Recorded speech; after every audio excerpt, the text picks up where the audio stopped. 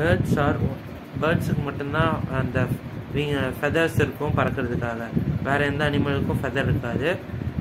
Peaks வந்து பேர்டுக்கு மட்டும் இருக்கணும் இல்லை. டக் பில்டு பிராட்டிபஸுக்கும் அந்த பீக் இருக்குது அதனால் ஃபெதர் மட்டும்தான் பேர்ட்ஸுக்குன்னு தனியாக இருக்கக்கூடிய இது. ஓகே எல்லா பேர்ட்ஸுக்கும் வந்து விங்ஸ் இருக்கும். அது பறக்கணுங்கிற அவசியம் இல்லை. அது ஒரு சில இது ஓடும் சில இது ஸ்விம் பண்ணும் சில இது அப்படியே க்ரால் பண்ணி போகும் விளையாட்டில்.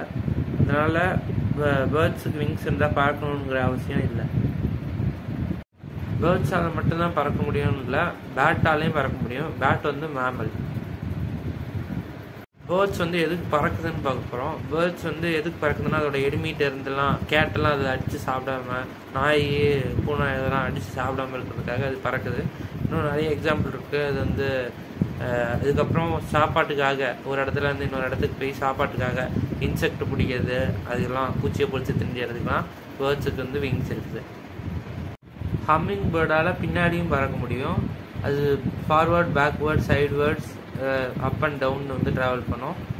ஹம்மிங் பேர்ட்ஸால் அது மட்டும்தான் பின்னாடி பின்னாடி வழியாகவும் பின்னாடி வேயாகவும் ஃப்ளை பண்ண முடியும்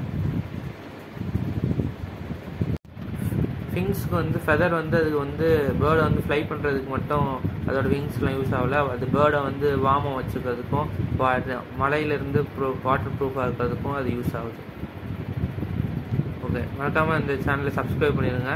பிடிச்சிருந்தா அப்படி ஒரு லைக் பட்டனாக அமைக்கும்